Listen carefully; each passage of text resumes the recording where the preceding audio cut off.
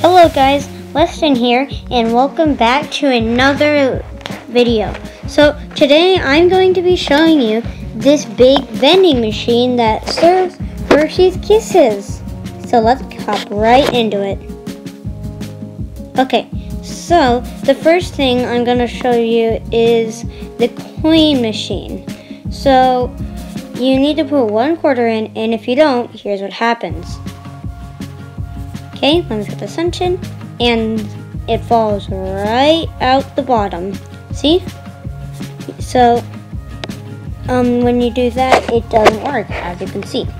But when I use a quarter, then if I put it in, let's see, and it goes right out to the back. Okay, so it's going to start up in a couple of seconds. So here we go three, two, one, and there. Okay, sometimes it takes a little bit of pushing, and there we go.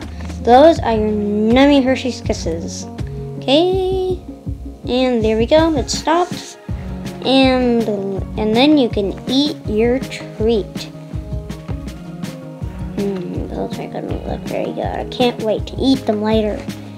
Okay, let me grab the last one out. Okay, here we go. Okay, so the next thing that I'm going to show you is this.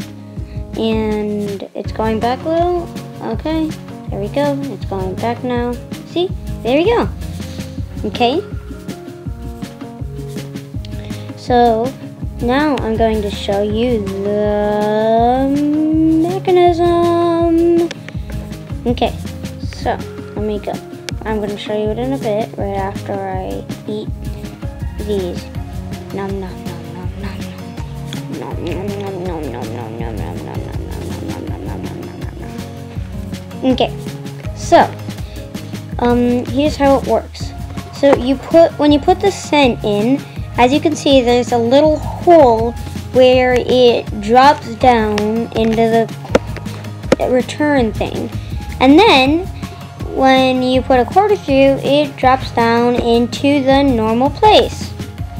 Okay, so you get your quarter, where you get the money is right there, and you take the quarter out from there, okay?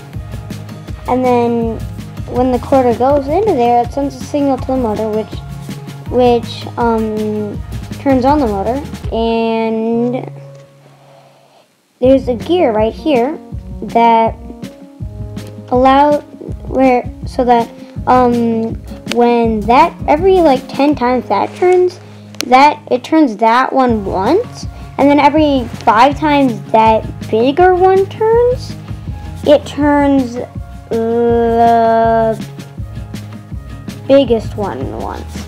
See? So that is how the slowing down part of it works. Okay? So when when there's a little conveyor belt thing right here so that when you turn it on it pushes that forward. Okay?